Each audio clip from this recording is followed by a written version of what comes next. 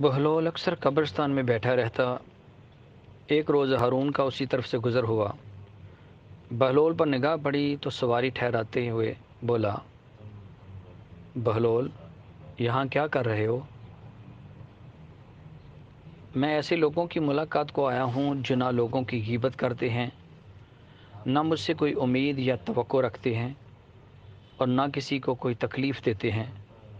بہلول نے وضاحت کی ہارون نے گہرا سانس لیا۔ بہلول، کیا تم مجھے پل سرات سے گزرنے اور اس دنیا میں سوال و جواب کی کچھ خبر دے سکتے ہو؟ یقیناً، لیکن اس کے لیے تھوڑا اہتمام کرنا ہوگا۔ کیا علی جا اس کا انتظام کر دیں گے؟ بہلول نے کہا۔ ہاں ہاں تم بتاؤ، میں ابھی حکم دیتا ہوں، ہارون نے جواب دیا۔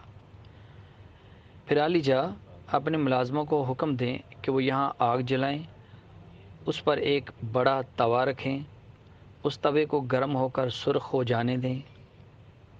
بہلول نے بتایا۔ بہلول کی فرمائش پوری کی جائے ہرون نے اپنا فرمان جاری کیا۔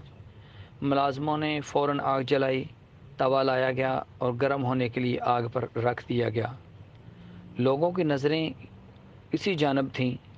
اور حیرت سے سوچ رہے تھے کہ اس سے بہلول کا کیا مقصد ہے۔ یہاں تک کہ توا خوب گرم ہو گیا۔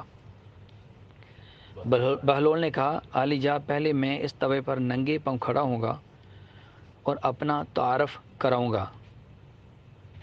یعنی میرا نام کیا ہے؟ میرا لباس کیا ہے؟ اور میری خوراک کیا ہے؟ اس کے بعد اسی طرح آپ بھی توے پر کھڑے ہو کر اپنا تعارف کرائیں گے۔ ہارون کو کچھ تعمل تو ہوا، لیکن اس نے منظور کر لیا اور بہلول سے بولا، چلو، تم پہل کرو۔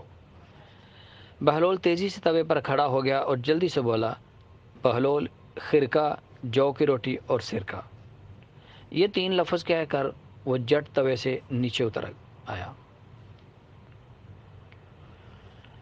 ان چند لمحوں میں سے، ان چند لمحوں میں اس کے پیر جلنے سے محفوظ رہے۔